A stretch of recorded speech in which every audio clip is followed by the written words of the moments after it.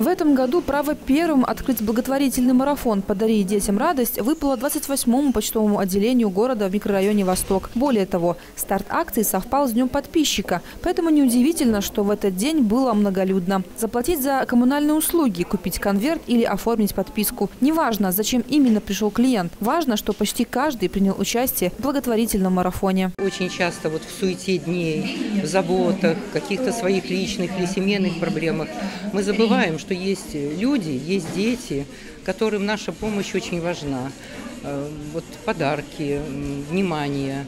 Ну, кстати, очень мы благодарны нашим работникам почты, что они дали нам тоже возможность проявить эту заботу. Такие акции надо организовывать чаще публичных местах, вот так будить нашу совесть гражданскую. Помимо того, что работники участвуют в Брестского филиала Рубелпочты благотворительной акции, мы все-таки решили привлечь и э, наших клиентов, клиентов в городе, которые, в общем-то, посещая наше отделение связи, смогут также принять участие и своим э, тем вкладом, который возможен каждому, э, привнести вот в общее дело. Потому что, ну, очень, конечно, жалко тех детей, которые не имеют, возможно, в полном объеме тех возможностей. И хочется хотя бы к такому праздничному дню, как Новый год, где, конечно, все и взрослые, а дети уж тем более ждут каких-то сюрпризов, каких-то подарков. Для участия в новогодней акции посетитель должен был выполнить ряд нехитрых действий. Купить блокнот, игрушку или сладкий подарок и опустить его в общую корзину детских сюрпризов, которые затем получат особенные дети, нуждающиеся в тепле, заботе и, конечно, вере в чудеса. А когда им не случаться, как не под Новый год? Жертвуя ребенку тот или иной сувенир, участник акции своим поступком дарил ребенку радость. Помощь в этом благом деле оказывали волонтеры, которым, кстати, долго людей уговаривать не приходилось. Посетители охотно шли на контакт и принимали участие в мероприятии. Когда узнала, что такая акция будет проводиться, с удовольствием согласилась, потому что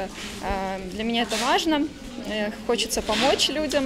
Э, ну, ты знаешь, что существуют семьи, в которых есть дети с ограниченными возможностями, тяжело больные. Вот, и хочется хоть какой-то вклад, хоть малейший вклад внести в доброе дело. Я считаю, что эта акция очень, ну, как бы нужна деткам, потому что, ну, насколько люди, они сейчас все заняты, кто-то куда-то спешат. Мне кажется, редко люди посещают, как бы, детские дома. И мне кажется, ну, это очень неплохая возможность, как бы, ну, вот так вот, такую радость доставить детям. Уже завтра подарки будут переданы в общественное объединение «Особое детство», волонтеры которого затем отвезут их в детские дома области и города. Акция «Подари детям радость» продлится вплоть до Нового года. За это время она будет гастролировать по отделениям почты областного центра, что, в свою очередь, даст возможность каждому принять участие в добром деле и подарить ребенку настоящий новогодний праздник.